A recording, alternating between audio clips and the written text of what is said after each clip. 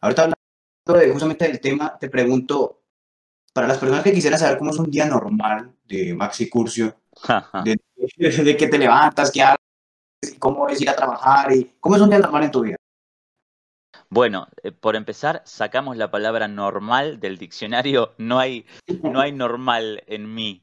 Eh, no hay normalidad en mí. Este, no, no es una palabra que me identifique mucho. Es un día normal, a ver, un día normal en mi vida, un día habitual, un día cotidiano en mi vida, es un día creando, es un día creando. Eh, tengo hábitos, este, me cuesta, vos sabés que mm, me, puede bastante soy, soy noctámbulo. Me, me, cuesta mucho bajar a la noche, que es generalmente un momento del día donde tengo muchas ideas y estoy pleno creativamente. A veces, lógicamente, por las cuestiones de obligaciones que, tenés en el día, yo estoy con muchos proyectos, tengo el proyecto de la editorial, el proyecto de la revista, digo el proyecto de la editorial con la cual publico los libros, la editorial Vuelta a Casa de la Ciudad de La Plata, el proyecto de la revista, el proyecto de la radio, mil, mil cosas en, las que, y más también aventuras en las que puedo meterme. Y a veces el día no me alcanza, entonces bueno, me tengo que levantar temprano para organizar un poco mis horarios y poder rendir. Eh, pero te diría que un día habitual es un día en el que me la paso creando y escribo mucho, escribo mucho para, para, para libros que me encuentro escribiendo en este momento o, los libros que en este momento están por publicarse, que están en etapa de edición. Me exigen muchísimo. Hoy en día la mayor cantidad del día me lo consume mi trabajo con la editorial, que es un trabajo también absolutamente autogestionado. Y bueno, y, dedicándole bastante tiempo a lo que son los espacios radiales. En estos momentos estoy con, con unos cuatro o cinco espacios de radio, algunos de ellos semanales, otros mensuales, y por supuesto la revista que tenés que estar permanentemente eh, con lo que tiene que ver con, los contenidos que, vamos renovando y las publicaciones, así que te diría que no hay normalidad en esto, hay, este, bastantes cuotas de, intensidad y de exceso creativo. Pero bueno, es, eh, digamos, un poco el, el, mecanismo de ignición y el fuego que nos combustiona. Este, sí, te diría que la intensidad me describe, me describe muy bien. No, pero genial que no tengas como una rutina, sino que eh, justamente tus días se vayan creando eh, día a día, se van creando con respecto a lo que tienes, con respecto a las cosas que tienes que hacer, y lo me imagino las cosas que van saliendo en el camino, y que no esperas y que, y que van mm. saliendo de una y otra manera. Ahorita justamente hablando de, de todas esas personas con las que Dime. Sí, dime. No, eh, rutina, rutinas, a ver, eh, la rutina es una, es una palabra si, si es, que desde el lado de la creatividad no nos estimula para nada no queremos rutina. Rutina, la única rutina que tengo es para entrenar, que soy un, loco del deporte. Este, es la única rutina que más o menos intento este, de forma eh, inclaudicable poder seguir y cumplir. Pero, a ver, creativamente trabajamos de lunes a domingo. En lo personal, yo no, no, no conozco otra forma y, y, no, hay, no, hay, no hay días de descanso, no hay, no hay feriados. Hay ideas que poner en marcha y hay motivos para crear. Bueno, hay que, hay que aprovechar el, impulso, este, porque también después te vienen tiempos de, sequía, porque no todo es creatividad. O sea, yo he tenido etapas como escritor donde no se me ocurría nada, he tenido etapas en, como comunicador cultural donde no se me caía una idea. Y bueno, también llega el tiempo de la contemplación y cuando llega el tiempo de la contemplación, en mi caso llega el tiempo del consumo cultural. Y bueno, porque cuando estoy creando no estoy consumiendo culturalmente demasiado porque, estoy muy, muy abocado, claro. Ahorita sé, eh, cuando dices que tienes sequías literarias o esas sequías eh, culturales, yo creo que hay mucha gente en nuestra audiencia que también le ha pasado, bueno, o que también está en el proceso de crear cualquier tipo de contenido. Y llegan momentos, eh, a nivel también personal, en los que las ideas no fluyen, las que simplemente no, no llega nada y es como que uno se bloquea. ¿Qué has hecho en esos momentos para quitar ese bloqueo mental que a veces también justamente pasa por eh, que uno intenta crear más y el hecho de la impotencia de ver que uno no, no se le sale más y lo único que hace es bloquearlo más a uno, ¿cómo, cómo hace para lidiar con ese, con ese embotellamiento mental, si se le puede llamar de alguna manera? O creativo. Bueno, eh, son procesos, otra vez, ¿no? Volviendo a lo del cálculo y error que comentábamos hace un momento son procesos que forman parte. Eh, como creativos tenemos que entender que en nuestro trayecto artístico eh, el, camino va a estar atravesado por esos, bueno, en lo que es el escritor, el famoso writer's block, ¿no? Pero esos famosos estados en donde estás secado, los bloqueos creativos, y no te sale nada. En realidad eh, hay que sortear ese tipo de tormentas sin demasiada, sin demasiada prisa, eh, con la pausa sugerente que el bloqueo indica, este, entregándonos un poco también a la buena fortuna de nuestras musas, que en algún momento siempre aparecen al rescate. Eh, yo creo que hay que tomárselo un poco con humor y no dramatizar demasiado. Eh, me parece que siempre que... A ver, pueden, pueden haber un montón de factores, que sería muy largo de explicarte ahora, por los cuales llegamos a ese tipo de saturación. Pero me parece que siempre que estemos lo suficientemente permeables al estímulo exterior y seamos lo suficientemente sensibles como para incorporar lo que culturalmente nos, nos estimula y nos moviliza y nos emociona, yo creo que mm, de alguna manera este, las ideas terminan llegando. A ver, no creo que las ideas se acaben, no creo que un escritor diga, bueno, hasta acá llegó mi carrera, o que un músico diga, eh, no soy capaz de volver a sacar otro disco. Eh, me parece que, mm, bueno, en definitiva, está también el, amor propio, ¿no? Que, que nos va a sacar solitos de, ese, de esa propia madeja. Este, pero en realidad yo creo que justamente se trata de dejar la luz encendida y, mantener la puerta abierta y estar receptivos a lo que ocurre a nuestro exterior y, cualquier cosita en el momento menos pensado va a prender la lamparita este, y te va a tocar el famoso duendecito, te va a tocar el hombro y, las ideas van a empezar a, a surgir naturalmente. Sí, sí, es parte, es parte del proceso, es parte del proceso también, justamente, de esos momentos de, bloqueo. Después vienen vendavales, ¿eh? Y hay, y hay que hacerle frente, te aseguro. Claro, es que, eh, no, lo digo es porque es una pregunta, y la preguntaba porque es una pregunta que también me han preguntado mucho por interno. Y muchas personas también de que me han dicho, Cristian, eh, mira que a veces he tenido problemas para seguir creando, que no se me ocurre nada. Y es simplemente lo que dice entonces es básicamente no darle tanta importancia a ese bloqueo, sino eh, tranquilizarse y esperar a que, en todo caso, la... Yo creo que la creatividad o las ideas se encuentran en cualquier lado. No es necesario, bueno, no que tienes que hacer esto para que se te quite el bloqueo mental. no, no hay un decálogo, no. No, no, no, hay un decálogo. Está en todos lados, la, justamente la creación de contenido, las ideas nacen de cualquier de cualquier momento. Justamente los grandes autores, grandes novelas a nivel que han sido ya parte de la historia universal, simplemente nacieron de, de un pensamiento fugaz, porque vieron una hoja caer en el agua, porque vieron la brisa cómo mueve las hojas de un árbol. La creatividad está en todo lado y es justamente parte de la esencia del ser humano, el ser creativo y el ser efusivo mentalmente, porque eso es lo que nos caracteriza como especie al final.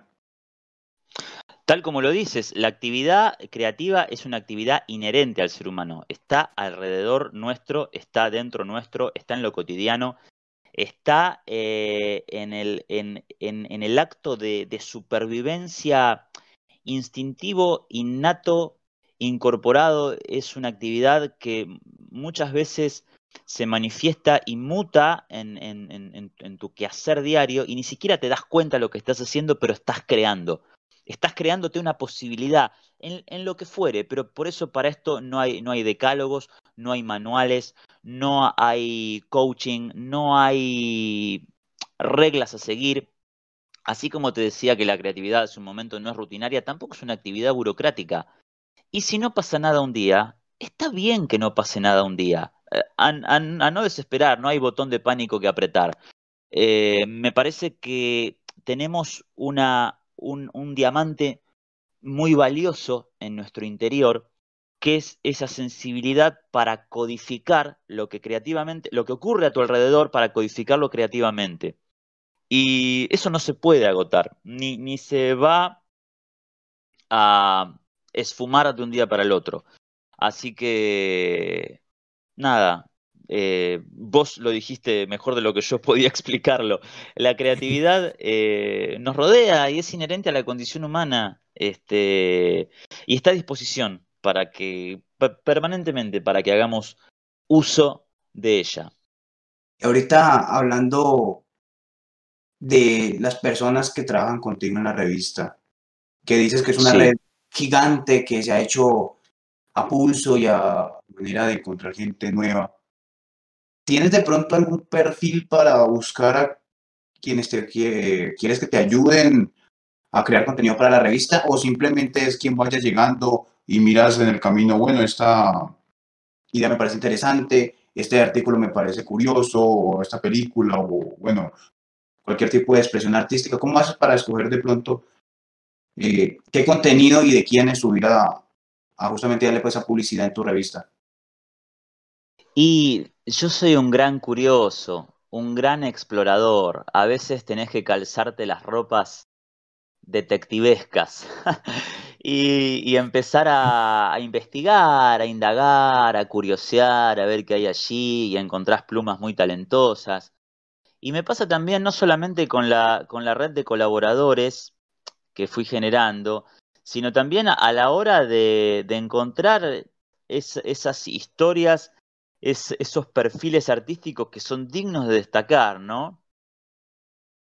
Cuando por ejemplo, me toca, Claro, cuando me toca, por ejemplo, hacer una entrevista, este, voy tratando de buscar lo que, lo que llama poderosamente mi atención y, donde veo talento. O sea, y hay también, por supuesto, mucha gente que se me acerca, que me manda un correo, que me manda una gacetilla de prensa, y que ahí empezás a ver que el boca a boca de la revista empieza a surgir y empieza a tener sentido y a cobrar dimensión.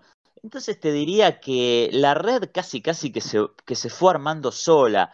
Te diría, hoy es mucha más la cantidad de gente que colabora en la revista, que se ha acercado porque conoció a la revista y le gustó la idea y quiso formar parte, de la que yo pude convocar por motus propio. Que por supuesto lo hay, pero la vida te va encontrando también porque somos personas que hablamos el mismo idioma, que transitamos la cultura y por ahí en este tránsito, viste, te encontrás con gente afín.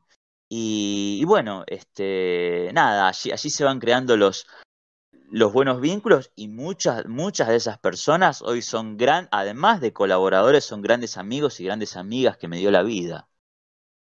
Oye, es interesante ver, al final no solo se, no solo se queda en, justamente en el ámbito, bueno, de la cultura, bueno, en este caso es más que todo una profesión, algo laboral, sino que también se va a todos los ámbitos de la vida, de que justamente esas conexiones con las demás personas que uno no espera van abriendo el panorama y al final uno se da cuenta de que todas las personas alrededor de uno, todas las personas que viven de tu, del núcleo familiar, del núcleo de amigos y de las personas que simplemente son conocidas, es una pequeña red que cada persona tiene.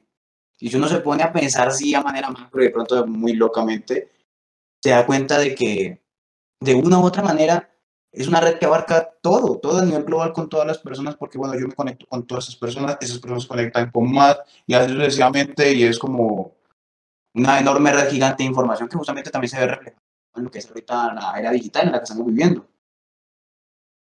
Sí, absolutamente, eh, y, te, lo, te lo empalmo también con una pregunta anterior que, que abordamos a lo largo de, de esta charla, en lo que tiene que ver con el instrumento que son las redes, ¿no? Y justamente hoy que vivimos, vivimos tiempos, a ver, vivimos tiempos vertiginosos, algunos dirán que vivimos tiempos muy vacuos, Eh, si hoy hablábamos también del consumismo, ¿no? Si el materialismo nos ha llevado a, pensar en la valía de un artista por cantidad de likes, ¿no? Qué, gran error, qué gran horror. Pero bueno, definitivamente. Vivimos, tiempos de likes, de followers, ¿no? Este, y follows back. Eh, pero bueno, en fin, claro, pero es decir, em, las redes justamente, viendo el lado positivo, ¿no? Y, tratando de, utilizarlo eh, no como un arma, que es una palabra horrible, sino como un instrumento a favor, ¿no? Y una herramienta. Entonces, justamente a través de, esos, de esas personas que, que pueden seguir mi proyecto, bueno, supongo que la gran mayoría de ellas, la gran mayoría de ellas, tendrán que ver con el, con el ámbito artístico y, se desenvolverán. Entonces, yo a través de la revista, supuestamente, puedo llegar a, darles un, campo de expresión en donde a ellos les sea provechoso eh, formar parte de la revista, ¿no? Este, entonces, ¿cómo no lo vas a utilizar a tu favor? Por supuesto. Y claro, es que es una, es una herramienta. Es que justamente también me, me, gustó que hicieras esa aclaración o no, no utilizar la palabra arma, que, está como, que se utiliza como muy seguido, porque es que al final es diferente decir un martillo que es con algo que yo creo, una herramienta, a decir un arma que es con algo que, que es simbología al final, pero también tiene su, su fuerza como palabra, de decir uno a decir un arma que es algo que uno utiliza justamente para hacer daño para hacer mal. No, y nunca debe ser este la finalidad de las redes sociales, es sacar el máximo provecho posible. Por suerte estamos en esta era que sí tiene sus, no digo que todo sea color de rosa, sí tiene sus falencias las redes sociales, es verdad, pero que de una u otra manera nos ha ayudado a conectar con mucha gente de manera muchísimo, muchísimo más fácil de lo que se hacía en años anteriores. Y eso es ver la parte positiva que ha dejado todo esto. Sí, pensemos una herramienta porque la herramienta puede moldear la forma y eso es maravilloso, moldear, moldear la forma, moldear la forma creativa, ¿no? Y, ver cómo, cómo, algo se puede manipular, manipular en el buen sentido, ¿no? Eh, transformar a la mirada, me refiero. Este, mm, y lo que me decías recién, que te iba, te iba a decir un pensamiento y se me acaba de ir, lo, último que dijiste. Eh, de acerca de las, del arma y el martillo, bueno, del arma y la herramienta. Claro, claro, sí, justamente, justamente, porque mm, eh, con, esa herramienta podés, llegar a más, a, más gente y el, te, aseguro que el límite es, es impensado. Eh, hoy, hoy en día, con los contenidos globalizados, te pueden leer en cualquier parte, te pueden escuchar en cualquier parte, eh, y eso es lo maravilloso. Ah, ahí me acordé, por lo que decías recién, por, ver la, virtud que tiene, que a veces no podemos ponerlo en suficiente perspectiva. El, avance gigantesco que ha dado la, humanidad con la llegada de Internet y con la era digital. Sí, es cierto que vivimos en un tiempo de información licuada. Ok, lo acepto. Es, cierto, es un desafío. Hoy en día comunica más una imagen eh, rápida e instantánea que un texto de, larga lectura, ¿no? Eh, también es un desafío, hablábamos de desafíos, desafíos es llegar al lector y que, y que me aguante un texto hasta el final o que me escuche un podcast hasta el minuto 14, porque con contenidos de más de 3 o 4 minutos ya se complica un poco. Es, difícil mantener la atención cuando estamos tan absorbidos por las pantallas.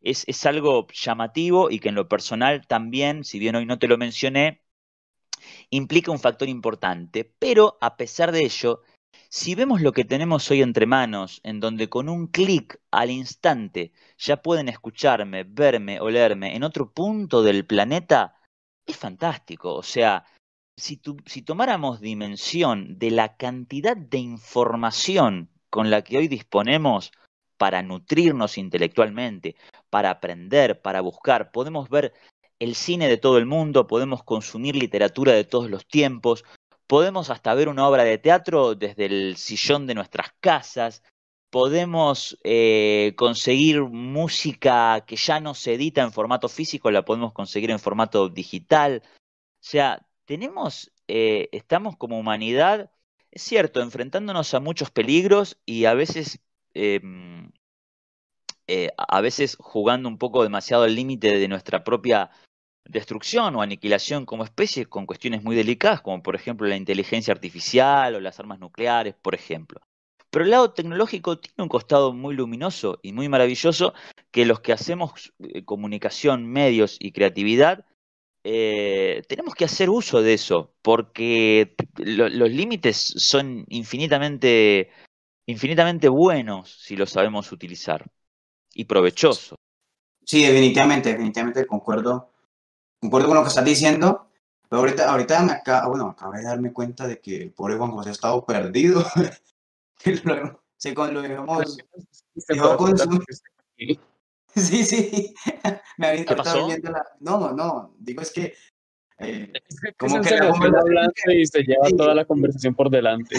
Es eso, a veces me emociono mucho. Juan José, por favor, continúa todo porque no me...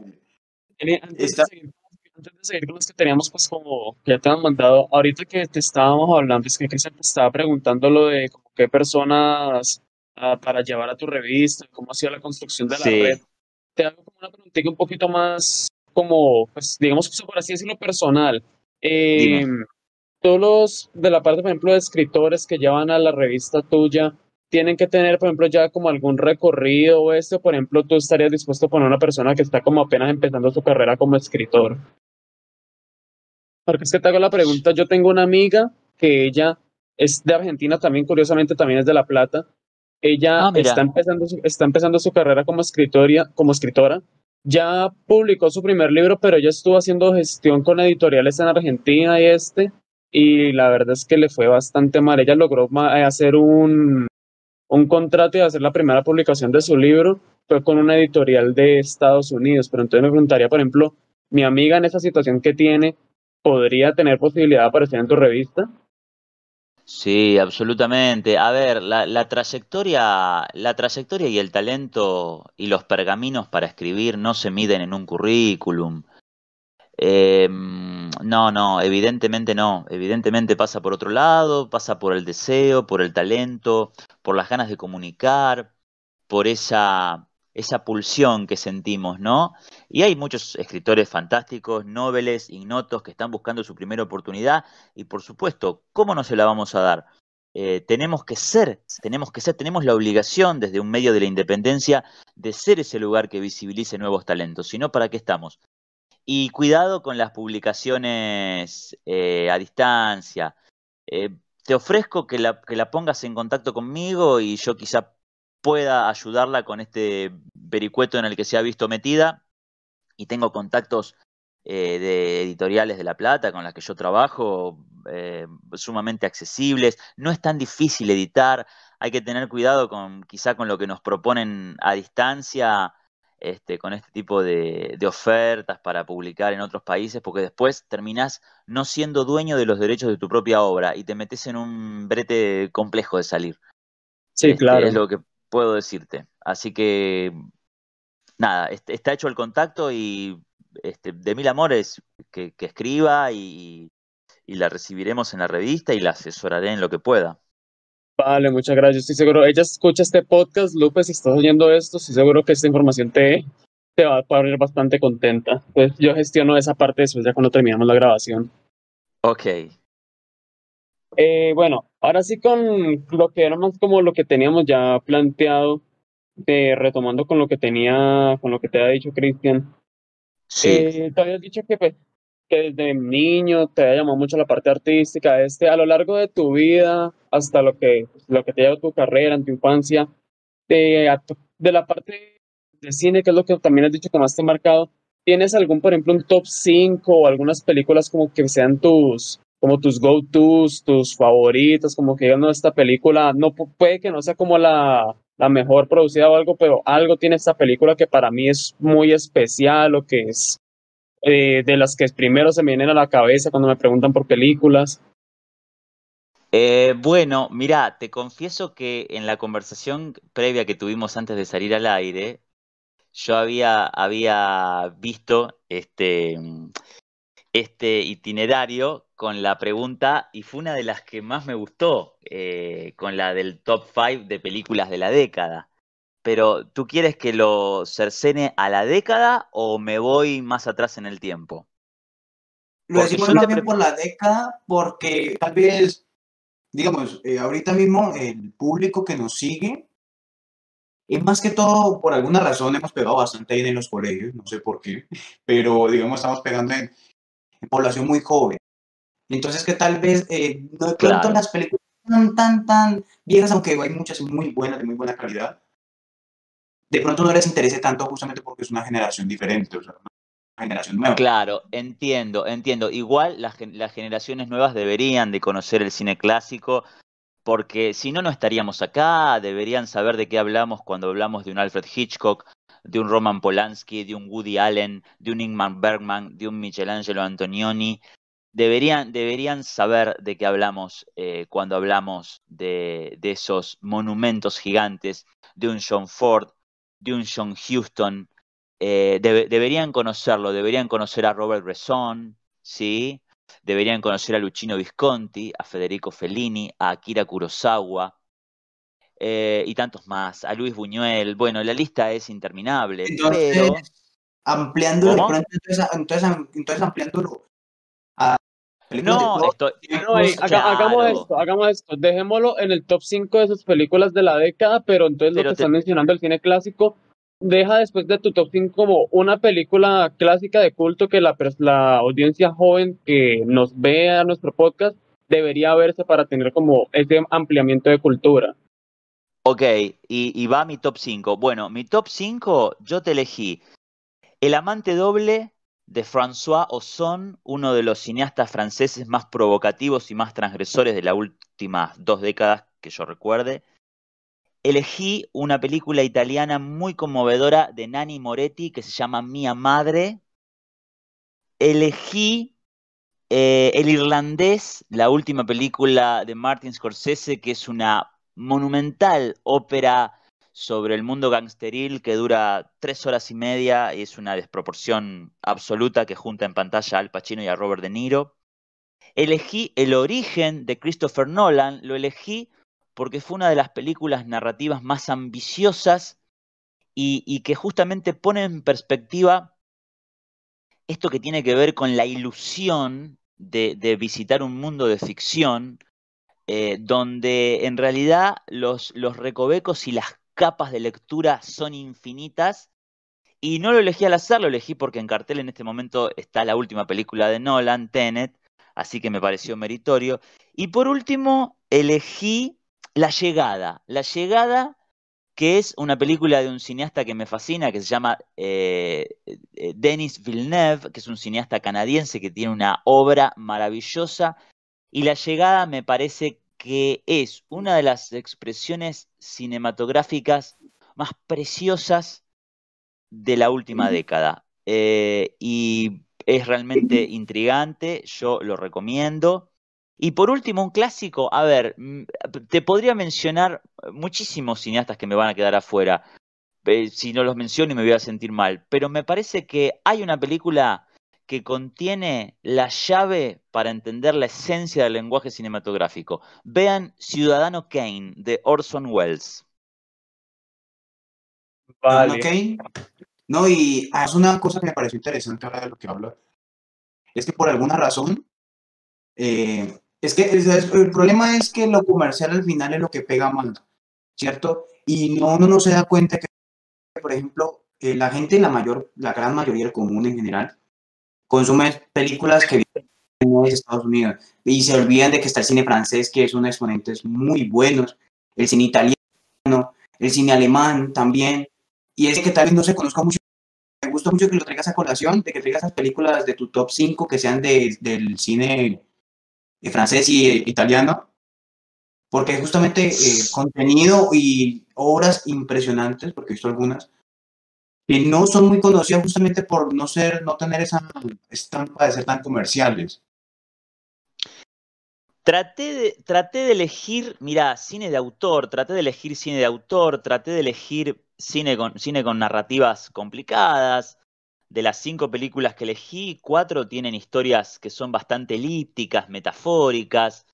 Quizás el irlandés es la más lineal de todas ellas, pero detrás de estas cinco películas que elegí, el denominador común es la mirada del autor, ¿no? Quienes estudiamos cine, quienes sabemos lo que es la teoría del autor y esa huella de esa voz personal que se manifiesta película a película a lo largo de una carrera y que en lo personal para mí es un viaje conocer a todos estos autores y, y todas sus películas me parece que justamente pasa por eso, porque la singularidad a la hora de comunicar una idea estética, bueno, no lo encontrás en una película comercial. En la película comercial quizás encuentres otro tipo de, de entretenimientos, quizás más, más, más, de una manera más lábil, este, pero no, no por eso lo estamos desmereciendo, este, pero a veces no es tan sencillo equilibrar arte, arte e industria a la hora de hacer cine. Pero sí, me parece meritorio mencionarlos porque quizás son algunos títulos que al ojo común del espectador pasan desapercibidos. Son títulos un poco más cinéfilos que elegí, pero me, me parecía que ameritaba la ocasión. No, definitivamente, es que lo amerita justamente para, para que, para dar de pronto, como dice a Juan José ahorita, culturizar en el buen sentido de la palabra a, las Claro. personas que nos estén escuchando. Que lo que te digo, más que todo es personas jóvenes, eh, gente joven. O sea, pues bueno, joven es una palabra relativa, ¿no? Porque bueno, no puede ser joven toda la vida. Pero lo que digo es personas que tengan, que tienen edades bajas, por decirlo así, para no de pronto entrar en, en Claro, millennials. Sí, Millennials. millennials. o bueno, ahorita serían centennials inclusive. Que claro, como población. Ahora, eh, la tienen muy difícil, bueno, ahorita pasando nuevamente al tema de la cultura, la tienen de pronto muy difícil las, los nuevos talentos, ahorita que nos está comentando el caso de su amiga, para de emerger de pronto en, en Argentina, o sea, los, talentos, los nuevos talentos tienen como esa facilidad de, de poder darse a mostrar y darse a, a conocer de manera más fácil, o, cómo es el, el panorama en Argentina en ese, en ese apartado. Bueno, eh, un poco tiene que ver con, lo que hablamos también más temprano. Eh, la cultura en Argentina es un espacio de absoluta resistencia, es un espacio que suele ser relegado, que no suele ser justamente atendido por nuestros gobiernos, eh, su- subvencionado o otorgándosele los medios necesarios para que los proyectos culturales puedan subsistir y pervivir. Eh, dado esta fragilidad que explica toda una serie de síntomas y fallas y fragilidades que hemos tenido en nuestro aparato educacional, también que pueden explicar cierto tipo de tesitura política. Nosotros eh, tenemos una, democracia muy joven que va, a- va rumbo a su cuarta década de forma ininterrumpida, pero los anteriores, es- eh, a ver si no me falla la memoria, los anteriores 40 años estuvieron salpicados por, por dictaduras que interrumpieron nuestros regímenes democráticos, y esto ustedes eh, en Colombia y en otros países de Latinoamérica pueden ver también espejado este tipo de, de procesos que coartan libertades. Entonces, todo esto va generando que se resiente, como siempre, el, el hilo se corta por, por lo más delgado, se resiente lo, lo, más endeble, en este caso la cultura. Entonces, ¿la tienen difícil los nuevos talentos para emerger? Claro que sí, pero me parece que el, el movimiento artístico naciente y los artistas nobles y, y tan plenos y con tanta pasión por comunicar lo, lo, lo, lo que tienen para decir acerca de este mundo en el que les tocó formarse y, vivir y recrearse y, decir al respecto, tienen, tienen una responsabilidad muy importante la, generación actual. Eh, y creo que va a ir por buen camino en tanto y en cuanto sean un motor, un canal para expresarse acerca de lo que está pasando en el mundo, que están pasando cosas, están en juego libertades muy, eh, muy, muy, muy primarias, muy esenciales, muy intrínsecas a las libertades de expresión, a las libertades de comunicación, a las libertades de tránsito, a la libre elección, al, libre albedrío, ¿no? que tenemos como humanidad para no masificarnos y, y no ser este, ovejas de un rebaño que sigue determinado relato. Entonces, en los artistas reside ser esa voz disidente eh, y, nunca consecuente con lo que a veces se nos intenta imponer de determinados sectores. Así que mirá si hay materia prima como para al respecto pronunciarse, ¿no? Sí, verdad, la verdad el tema es muy extenso. Y ahora para ya ir como cerrando, por decirlo así, tenemos cinco preguntas que más bien eh, son jocosas, son jocosas, las últimas cinco preguntas que tenemos. Y justamente, de pronto para conocer un poco más a, como persona, de pronto no tanto el, la figura pública, bueno, la figura que muestras en tu revista, y son esas últimas cinco preguntas que son justamente más bien a nivel de, de juerga, por decirlo así. me encanta, me encanta, me encanta. Vamos, vamos con eso, vamos con la fiesta, a ver. ¿qué vamos ahora. Primera pregunta de ya de última. ¿Qué tipo de rock escucha Maxi Pulsio en su día a día? ¿Qué tipo de rock escucho en mi día a día? todo el que más pueda, todo el que más pueda. Escucho mucho rock nacional, escucho mucho rock internacional, a ver, tengo, tengo bandas fijas, claves, artistas que han formado parte de mi vida por siempre, no solamente de mi vida como comunicador, pero entiendo que estas preguntas son más personales, así que te voy a contestar como fan y como melómano y consumidor. Eh, Fito Páez, que hoy está cumpliendo años, hoy está cumpliendo 58 años, así que lo saludamos a Fito Páez. Fito sí, definitivamente me acompaña cada día de mi vida, con, sus músicas, con sus canciones. A ver, de Argentina, Luis Alberto Spinetta, Charlie García, amo a, estos dos, a estas dos perlas preciosas de nuestra música. Andrés Calamaro, Gustavo Cerati, Pedro Aznar, Lito Nevia, ese es el, el, rock nacional que me acompaña, Indio Solari, grandes exponentes de nuestra música.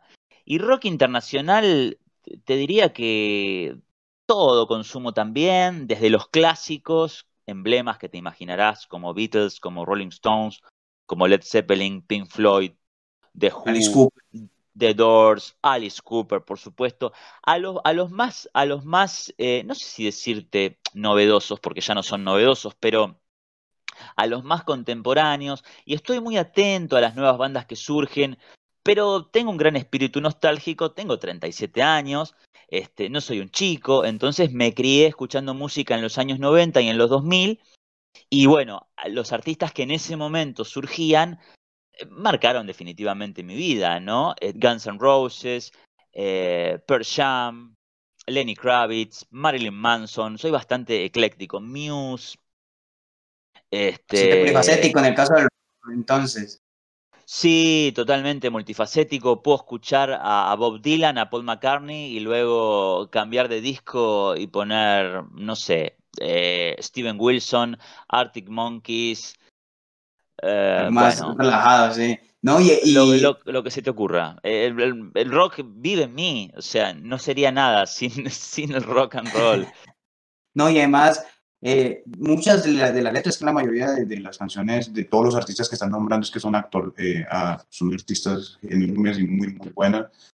Y justamente también por los, todos los mensajes que transmiten, por todas las sensaciones que, que dejan luego, que ya quedan marcadas, que uno escucha una canción y recuerda momentos en específico de su vida, que recuerda conexiones que tuvo, eh, que le dan nostalgia, como decía, eso es muy bonito, esa parte también de la música, esa manera de sentirla. Sí, porque hay canciones, hay discos, hay artistas que te llevan a determinada parte de tu vida que hablan a través de esos, de esos eventos de, tu vida que, que, pudieron haberte ocurrido y que justamente estaba ese artista para, para acudir al rescate, ¿no? Y, colocar en sus palabras, eh, en líricas, en melodías, en ritmos, sensaciones, ¿no? Este, y justamente la, la, rebeldía, ¿no? Porque ah, si hablamos de rock and roll, hablamos de un espíritu rebelde y hablamos de esa anarquía. Y bueno, es cierta forma también de entender la vida a través de un puñado de discos y canciones que nos acompañarán por siempre. Eh, es, es, un mundo realmente apasionante, este, del cual yo me he nutrido muchísimo, por supuesto. Ha sido un, gran, un gran salvavidas. No, y es un, la música ya es parte, bueno, por lo menos en nuestro caso, mi imagino que es así, que es parte del día a día, que es eh, parte de la esencia, que el otro día me preguntaban que, ¿cuánto tiempo escuchas música al día? Yo le decía, o en qué momento escuchas música en el día. Yo dije, ¿hay un momento para escuchar música? No, yo escucho música todo el día, porque es parte de, de ya de, de, de toda la que compone mi vida y compone la vida de muchas personas ya. Es una expresión artística impresionante y eso es, yo digo, de los mejores inventos que ha hecho el ser humano. Sí, es, es, es un ingrediente que no nos puede faltar y por supuesto a mí, a mí me acompañan eh, me acompaña la música en el día a día, este, a veces en, en, momentos de absoluta tranquilidad, a veces acompañando lo que es el trabajo creativo, pero no hay, no hay como escuchar música en vivo. Eh, la escucha de la música en vivo con el artista que vos admirás arriba de un escenario tiene ese, ese acto para el cual fue creado la música, para, para ese acto tan elevado espiritualmente de generar resonancia y que no entramos, no salimos de un concierto de la misma manera en como entramos, y en esa conexión que se establece con, con, el artista que está arriba brindando su arte a través de sonidos y, canciones, se genera esa, se, se, regenera ese ritual atávico chamánico, ¿no? De escuchar esos, esos cantos tribales alrededor del fuego. Y bueno, justamente hoy transformado en lo que puede ser el rock and roll o cualquier música de género que escuchemos, lo interesante es que ese ritual atemporal sigue vivo y, y, es realmente maravilloso porque es la máxima expresión ¿no? del, del, acto musical, del ejercicio en la cumbre de su arte.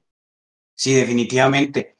Ahorita, justamente hablando de bandas de rock, si yo te dijera, tienes la oportunidad de viajar en el tiempo y sí, me encantaría. Rock, y, no, y llevarte una banda de rock una época en específico, primero, ¿qué banda de rock escogerías y a dónde la llevarías y por qué? O sea, tenía, mucha ganas, tenía muchas ganas de hacerla. Es una pregunta que yo tenía muchas ganas de contestar. Es, es difícil porque, a ver, eh, a mí me encantaría viajar en el tiempo. A mí me hubiera encantado nacer en los 60s. Eh, no nacer en los 60s, crecer en los 60s, en, en los 60s, en los 70 y poder nutrirme de todo ese rock que surgía de los tiempos de Woodstock, y el hipismo y el flower power y Jimi Hendrix y, toda esa movida maravillosa donde el rock estaba descubriendo realmente su potencial, porque el rock, el rock cambió la vida cultural del siglo XX, ¿sí? excedió las fronteras musicales. Me hubiera encantado, pero también entiendo que es difícil contestarte la pregunta porque las bandas tienen un, digamos, un, un, basamento cronológico, una, una coordenada geográfica, histórica, un tiempo y lugar. Y es difícil por ahí imaginar qué pasaría con otra banda, con una banda determinada insertándola en otro tiempo histórico, ¿no? Porque uno siempre se pregunta, viste que los, los norteamericanos son muy de los what ifs, ¿no? ¿Qué hubiera, hubiera sido si? Este, ¿Qué hubiera sido si Kurt Cobain eh, no hubiera fallecido, ¿no? ¿Qué hubiera sido si los Beatles no se hubieran separado? ¿Qué hubiera sido de las grandes bandas? Uno quiere saber qué hubiera sido. Es difícil, la verdad. Mira, este, a mí me hubiera encantado. Acá tenemos una banda fantástica que se llamó Cerú Girán. No sé si ustedes la conocen. Cerú Girán, no, tengo la, en el panorama tal vez eh, no la he ¿Cómo? O sea, no, no, de, de, sí, de Cerú Girán, no, no, la, no, digo, la primera vez que la escucho, si te soy honesto. Bueno, Cerú Girán acá vinieron a ser más o menos por poco los Beatles argentinos, ¿no? Ese mote tenían. Y fue una banda que a mí siempre me maravilló pensar si, si, si realmente llegó a su techo creativo, ¿no? ¿Qué hubiera sido si no se hubieran separado? Eh, ¿cómo, ¿Cómo hubieran sonado? Cerú Girán, que es una banda argentina que duró desde el 78 al 82 y tuvo un regreso fugaz en el 92. Eh, ¿qué, qué, qué, hubiera pasado? ¿no? Uno siempre se hubiera preguntado, bueno, yo te digo Cerú Girán porque es una banda que tocó mi corazón y que me hubiera gustado que no termine nunca, por ejemplo. Y la llevaría a una época actual y digo, a ver, ¿Cómo, ¿Cómo estaría hoy Cerú Girán? Pero vamos a ampliar un poquitito más el panorama y te voy a contestar con una banda internacional. Bueno, a mí me hubieran gustado, por ejemplo, ver a Guns N' Roses, lo tienen a Guns N' Roses, por supuesto. me hubiera gustado ver a Guns N' Roses desenvolverse en los, a, los comienzos de los 70, ¿no? A la par de bandas que la nutrieron, como Queen, como Aerosmith, como Led Zeppelin. Me hubiera encantado verlas dialogar con esas bandas que después fueron la síntesis, ¿no? Y por supuesto, ¿qué hubiera pasado con Guns N' Roses si no se hubiera separado? Que es otra banda que también tenía muchísimo potencial y que después se vio eh, desmembrada en su núcleo original.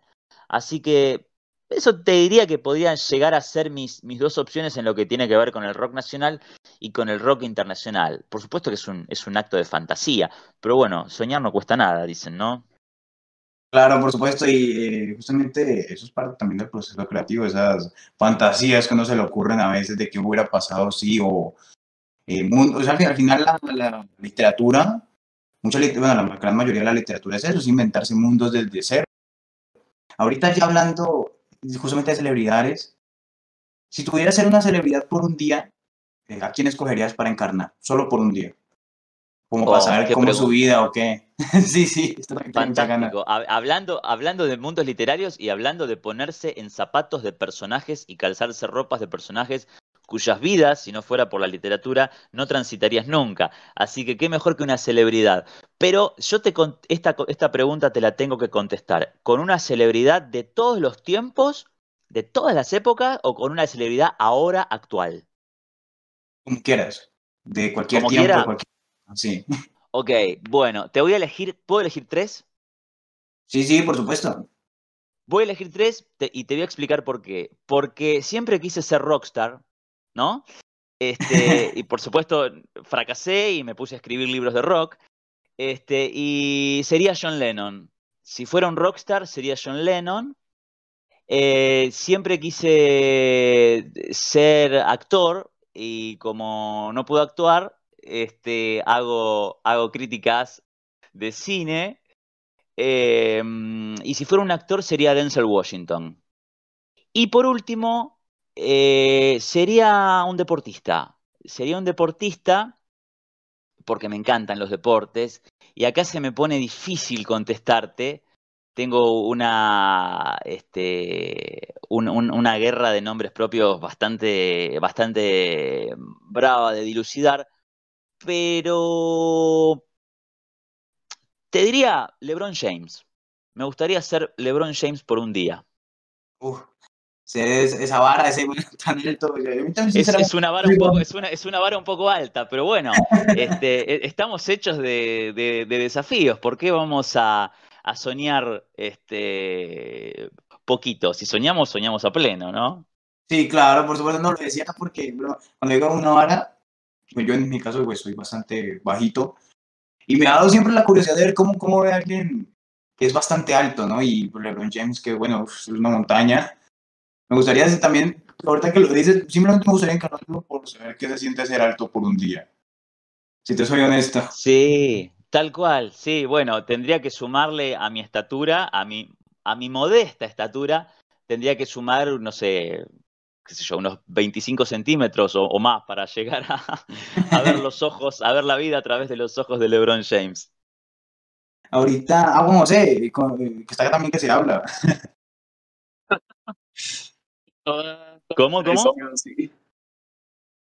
¿Cómo? ¿Cómo dices? Están diciendo que sí que me, que me hablo, ya es como la tercera vez que dice lo mismo en esta, en esta entrevista, me pregunto por qué será. que yo me emociono mucho, perdón. Me emociono mucho cuando me pongo a hablar. Haciéndolo un poquito de giro como a la, como esta parte como chévere, como toda fantasiosa, hipotética y que te viene haciendo Cristian.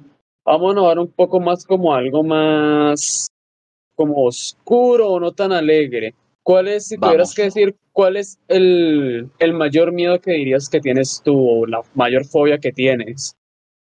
Uf. Eh, el mayor miedo que tengo es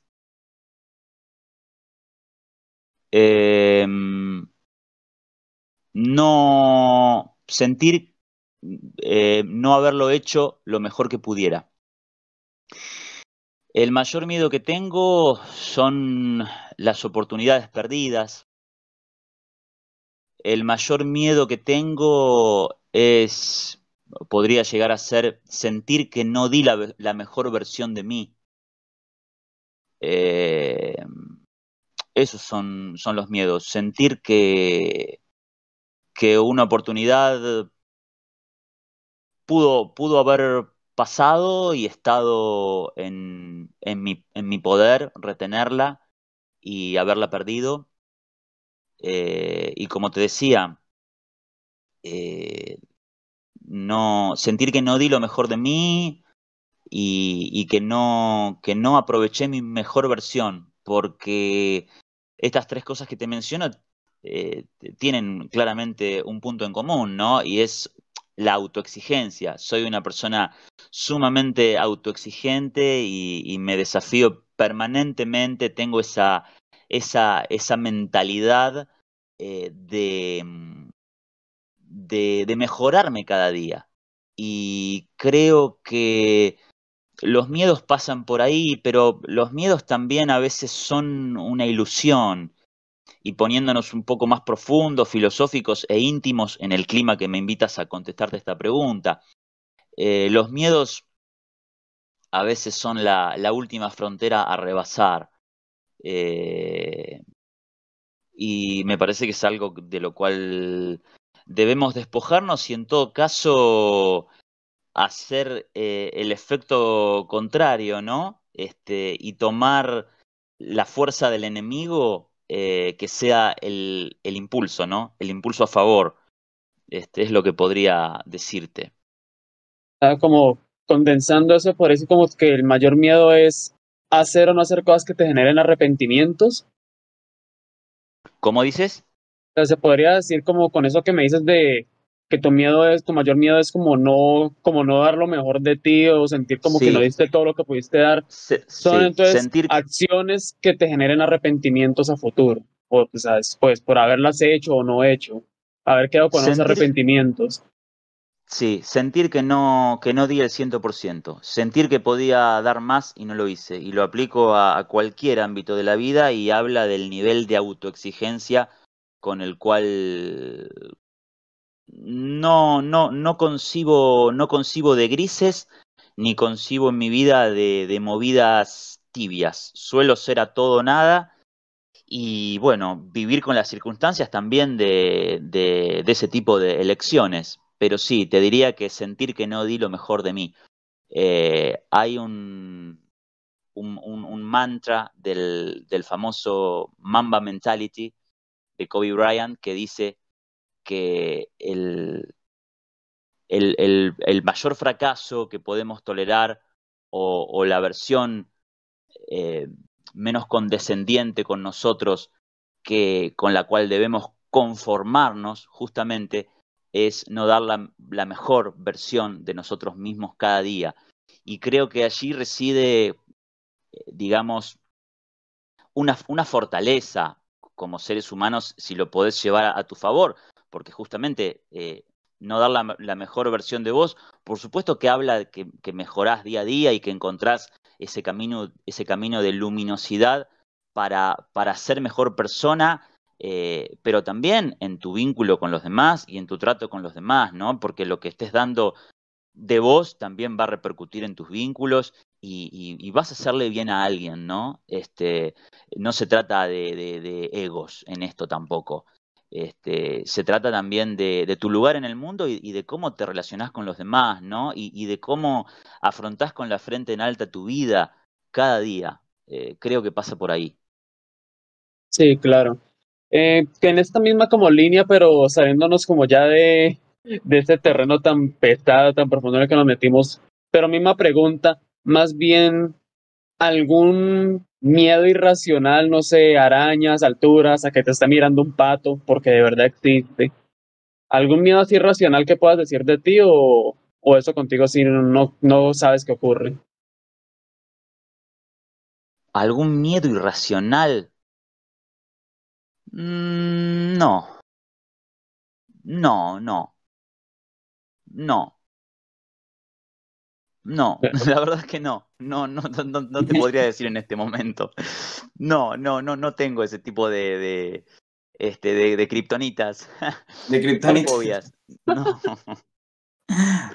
No, no. Si todo el mundo tiene uno, digamos, de mi caso, yo digo, yo toda la vida nunca puedo saber por qué, pero siempre le he tenido pavor y miedo a los insectos. No solamente mucha gente dice como no, que las cucarachas o las arañas, no, cualquier cosa que sea catalogada como insecto, de una me, me altera. Y Cristian puede tú. dar fe de ello. Mira tú. Es como, como la metamorfosis de Franz Kafka. Definitivamente. sí. ¿Verdad? Eh, qué curioso sería que alguien que tuviera esa fobia terminara convirtiéndose, como en el caso de, de la metamorfosis, que terminara convirtiéndose en, en su cama en un insecto gigante. Sería la gran paradoja. la gran La gran paradoja. paradoja, sí. Definitivamente.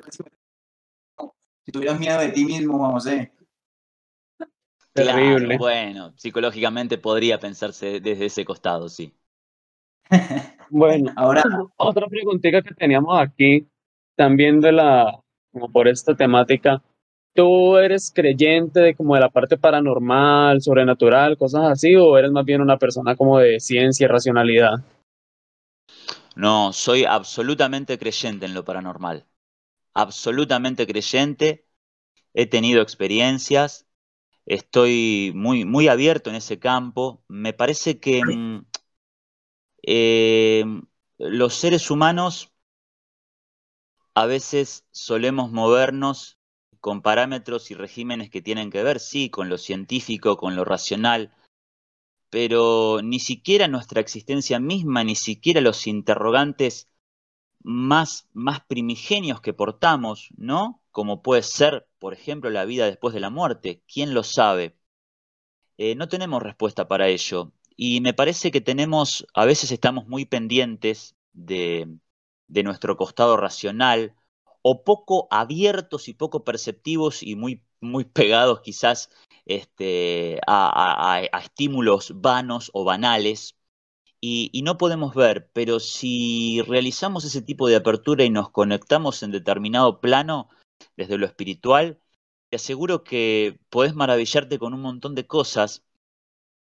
Y te quiero citar a Aldous Huxley, el, el- no tengo casi que ni, ni presentar a, uno, a una de las mentes más brillantes que haya dado el siglo XX, ¿no? El autor de, de Un Mundo Feliz y de Las Puertas de la Percepción, quien decía, a través del uso de, de mescalina para llegar a estados de conciencia expandidos, daba el ejemplo acerca de las esmeraldas de otros mundos que se resguardaban en las hojas de los árboles y que reflejaban como perlas la luz del sol. ¿Qué quiero decir? Que en el fenómeno más común y natural que tenemos alrededor en nuestra naturaleza, como puede ser ver el sol reflejado en las hojas de un árbol, se pueden descubrir mundos maravillosos. Y creo que ese nivel de percepción, sin ningún tipo de sustancia de por medio, lo que estoy diciendo es simplemente un ejemplo y estoy trayendo la paradoja para contestarte, eh, podemos tener ese tipo de, de aperturas a, a mundos sensoriales, quizá por mi actividad creativa y, por, el tipo de, sensibilidad que manejo justamente por moverme en esos, lados mentales de la, inspiración, puedo ser más, permeable a percibir determinado tipo de cosas. Y me ha pasado, si querés llamarle paranormal, este, me parece que hay mundos y puertas fascinantes que exceden todo tipo de explicación. No sé, claro, completamente de acuerdo y me alegra que hayas dicho que has tenido experiencia porque justo te quería preguntar, si te ha pasado, si creías en lo paranormal y te ha pasado, ¿qué experiencia como más eh, llamativa o prominente has tenido pues, que estés dispuesto a contar? Eh, no sé si estoy dispuesto a contarla, porque son cuestiones muy íntimas, tienen que ver con, tienen que ver con seres queridos. Este, no, no estoy emocionalmente preparado como para contarlo, pero, pero te puedo decir que, que sí, que las he tenido y, y de, de- de las buenas y de las malas, ¿no? Porque hay costados más oscuros y costados más luminosos. Este, es un, es un mundo muy amplio.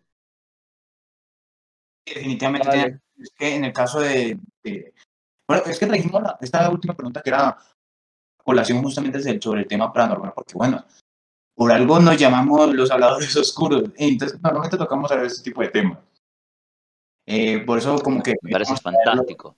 sí, solo que queríamos hacerlo al final como colación. Bueno, en nuestro caso, obviamente creemos en, en, que hay energías que nos rodean y que tal vez no logramos entender del todo, de que hay fronteras eh, del pensamiento que no sabemos cómo sortear del todo aún.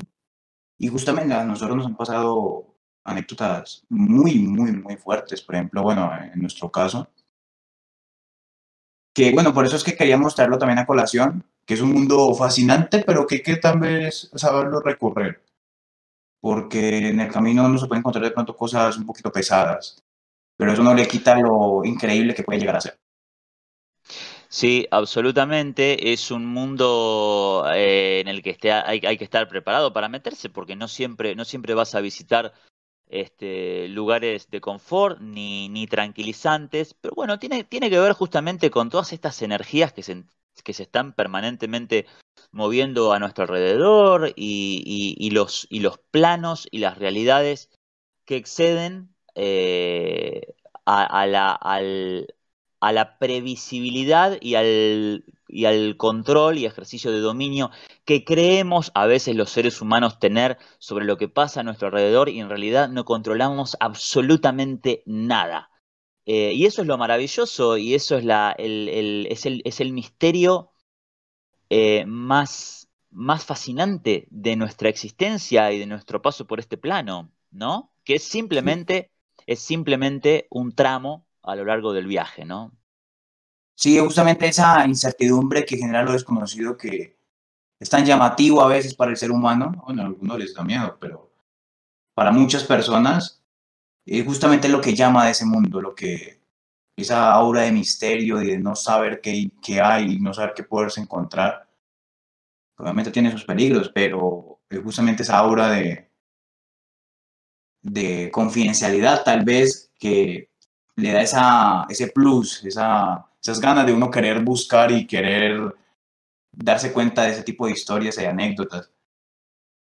Bueno, yo creo que también depende del, costado del espejo que refleje la realidad, ¿no? Porque si hablamos de una realidad paralela, este, bueno, hay que ver, cómo se reflejan las cosas, ¿no? Pensemos este, en, en, en, eh, el famoso aforismo del río de Heráclito, ¿no? Este, cómo, cómo se reflejan las cosas este, y esas aguas de ese río, bueno, nunca reflejan las cosas dos veces de la misma manera, pero nosotros decimos paranormal, pero quizás del otro lado del espejo de la realidad, quizás nos vean paranormales a nosotros. No, no podemos saberlo. Definitivamente, definitivamente. La paradoja nuevamente. No podemos saberlo. No, sí, definitivamente ha sido un enorme, enorme, enorme placer haberte tenido aquí con nosotros hoy. En realidad, eh, disfrutamos, creo que habló por Juan José y por mí, disfrutamos muchísimo la charla que hemos tenido. Espero que haya sido igual de grata para ti como ha sido para nosotros. Muchas gracias por aceptar nuestra invitación, porque, bueno, eh, al final es un espacio pues, de conocimiento y es tal vez un espacio que ah, no están dispuestos a compartir ya tal vez a nivel personal, porque pues no nos conocen, bueno, sí, que tienen de pronto susceptibilidad al respecto. Entonces te damos las gracias de, de parte de todos nuestro equipo, los que pudieron estar y los que no, por haber aceptado nuestra invitación y haber venido a este programa tan especial para nosotros. Oh, hermanos, por favor, eh, eh, me, abruman de emoción las palabras. Les agradezco enormemente a, ti, Cristian, a José, a todo tu equipo, a todo el equipo técnico que está atrás de esta grabación. Me, he sentido, pero enormemente a gusto, casi dos horas hablando, es, muchísimo eh, tiempo de, aire radial, de aire digital, de lo que fuere que esta entrevista pueda comunicarse y y regenerarse y escucharse en un montón de plataformas. Eh, me siento, me sentí inmensamente a gusto, es una de las entrevistas, la verdad, de, mi, de mi, humilde carrera, este, incipiente carrera, pero que más disfruté, eh, porque la verdad que hay que, tener profesionalismo para hacer este tipo de preguntas, lo cual destaco en ustedes, porque no son preguntas hechas con cassette y formalismos. Son preguntas que se salen de todo tipo de molde y me encantó el recorrido que hicimos por mi carrera en los medios y también el recorrido que hicimos desde, desde lo más personal, porque bueno, quizá pueden, quienes, quienes estén escuchándome puedan conocer este, otra parte de mí y, espero resultarles interesantes en ambas facetas y que lo que haya tenido para decir sea, sea este, justamente provechoso y, luego abra el debate. Me parece que tenemos una responsabilidad fundamental como comunicadores, como seres creativos, en llevar este tipo de contenidos y yo abogo por este tipo de espacios en donde el entrevistado tiene tanta libertad para, para hablar. Es, fantástico lo que están haciendo, los animo con el podcast y pues les agradezco inmensamente de corazón este espacio tan, tan bonito que me han dado en esta tarde-noche. Me he sentido sumamente a gusto. Les agradezco de verdad. Muchas gracias en serio por tus palabras, Maxi. En serio que... Oh, por eh, favor. Muchísimo eh, saber que, has, que has venido y que lo has disfrutado mucho. Seguro que no escuché eh, también, es que fue una charla muy amena, una charla muy entretenida, no hubo ningún momento en que, uff, que hubo un momento incómodo o algo así. No, no, en realidad estuvo muy, muy amena la charla. Y es más, yo creo que quedó, no sé si piensas igual que yo, que quedó mucho tema para tocar. Quedó mucho tema. Sí, definitivamente, pero es que obviamente no lo quiero hacer tan largo y prefiero mejor buscar, tal vez, si, si me permites, una segunda parte o, o algo así, porque es que tal vez de tirar contenido tan grande eh, tiene sus, sus desventajas a veces. Entonces. Oh, me encantaría. Me encantaría una segunda parte. Si queda, queda, hecha la, queda hecha la invitación, hermano. Definitivamente, si quieres volver al programa, de una vez podemos acomodar y, y que se haga. Porque oh, cuando, mucho la pena. Cuando tú, cuando tú digas, vale la pena hablar de este tipo de cuestiones que tanto nos interesan y que tanto nos apasionan y se hacen llevadero justamente los temas porque, porque hablamos el mismo idioma y tenemos empatía y, hay todo este tipo de, inquietudes y búsquedas en común. Así que siempre va a ser una, una, charla recreativa y una charla fructífera y una charla que ilumine todo este tipo de cuestiones sobre las que estamos abordando. Así que si quedó muchísimo por por desandar, bueno, desandemos el camino y, hagámoslo, hagamos la segunda parte que siempre fueron buenas, contrario a lo que dice el dicho. Definitivamente. Juan José, ¿qué quieres? Unas palabras ya para ir cerrando. No, pues también como has dicho vos, muy agradecido con esta, con esta reunión, con esta experiencia, sí fue muy amena, fue muy chévere, muy chévere tratarte, ya estoy empezando a tartamudear. Eh, se habló de bastante, sí pienso también que se puede llegar a hablar de más, pero como dijo Cristian, sí, nosotros procuramos hacer los capítulos más o menos de una hora, hora y piquito, pues para que también a la persona que está escuchando no se le haga muy, como muy pesada, muy difícil de digerir, pero igual estuvo muy, muy entretenida de realizarse, muy entretenida de hablarse, y yo creo que también va a estar muy entretenida de escuchar.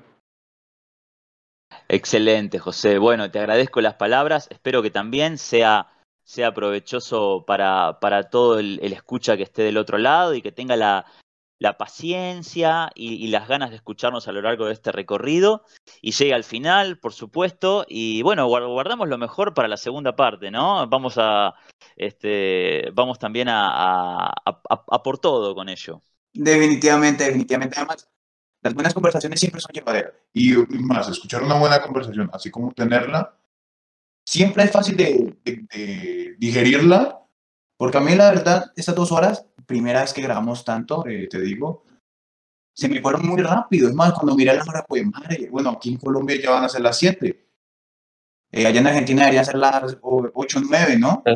Aquí, aquí, aquí van a ser cerca de las 9 y sí, la verdad que yo no, no, me caracterizo por mi poder de síntesis. Si tú me dejas hablar, puedo estar hablando hasta mañana. Este, y bueno, eh, nada, seguir. Así que este, se ha hecho muy, muy amena, muy, muy amena en verdad. Estoy súper cómodo y bueno, este, la verdad, la gratitud es inmensa, una vez más. Recuerden, gente que nos estén escuchando, queridos oyentes, eh, una semana más terminamos un nuevo programa. Muchas gracias por escucharnos.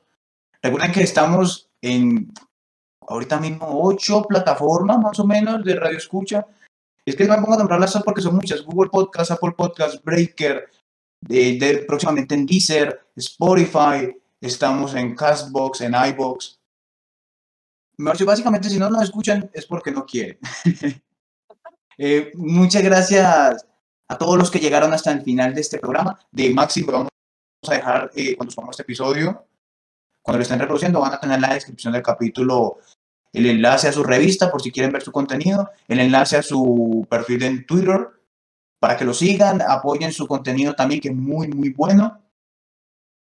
Y muchas gracias por escucharnos la siguiente semana, esta semana. Hasta la próxima. Muchas gracias. Gracias por difundir mi trabajo. Un gran abrazo.